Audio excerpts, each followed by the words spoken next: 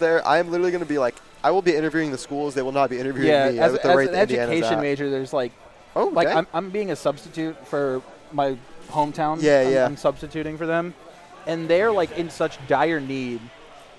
All right, so okay, we now have, let's talk about the match. so we have.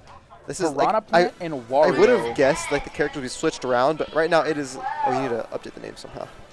Oh, uh, wait? I would have guessed. not safe? I don't know. Here it's not live for some reason, but I would have guessed that it would have been it is. Spaku on Piranha Plant and Max on Wario because I haven't seen Spaku play. That's actually not. I know. Yeah. I'm, I'm saying that's what I've expected, Yeah, that's actually not correct. So I don't know.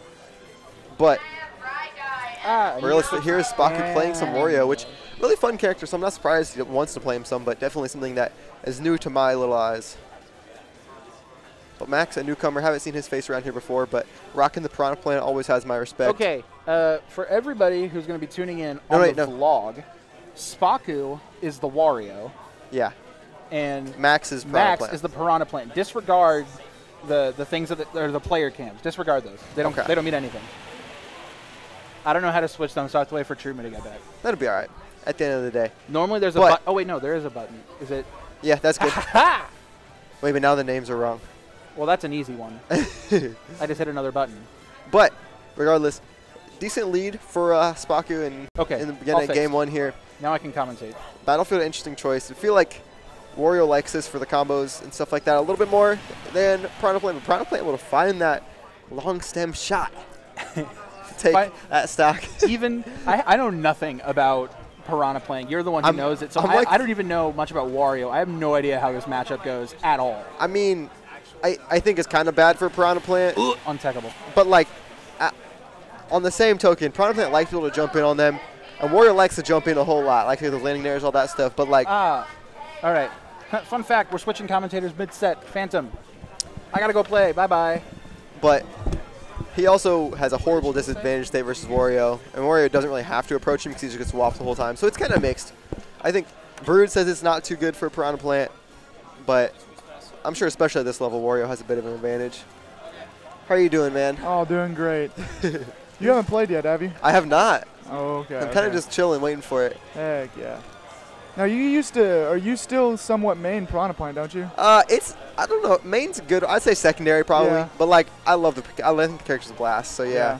All right, all right. So I was talking a little bit about how it's sort of a weird matchup because normally Piranha Plant likes you to try to jump and stuff, and Wario loves to like nair and do all that fun stuff in the air. But like Wario still, when he gets in, he just gets too much damage. Yeah, I don't think this is a, I don't think this is a very good matchup for uh, for Piranha Plant, just because Wario's in-air hitbox is just huge. Yep, and he can just kind of schmoove around on him with his good airspeed and stuff like that. Oh yeah. And Piranha Plant, when he when he swings, is a bit of a commitment compared to Wario, can just sort of juke around on him and all that kind of stuff. Yeah, Wario's just very deceptively fast. Exactly, especially in the air. Like he Oh, jumps yeah. up in the air, and he's one of the fastest characters in the game all of a sudden. Oh yeah. What a uh, Spaku won game one. It looks like we're gonna have a character switch coming out from both people. Switch off to Spaku on the patent pending Pac-Man, and This is Greninja his Max. tried and true right here. Yes, sir. It's been for like several years now. Back in Smash 4, ever since I've known this kid, he's played this character. I've only known him for like two weeks. It'll be, it'll be interesting to see Max switching to Greninja, he going up in the tier list a little bit. a little bit, yeah. He um, and one thing about Spaku, he uses that um, Galaga a lot more than Pac-Man players normally do.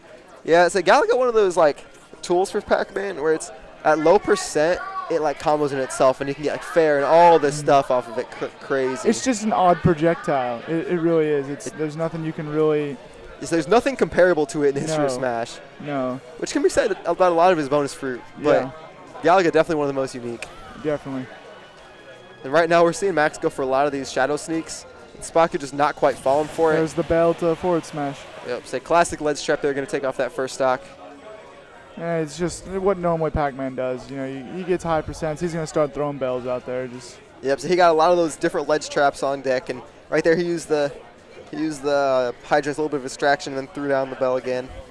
that's another thing with Spaku. We see um, Pac-Man not normally use that forward smash as much, just because uh, it's just got so much lag on it. But he throws it out there, no problem. Yes, it has that like, but it's also like it like lingers for a while, which is Yeah. what it, how it catches a lot of people off guard. I feel exactly. like.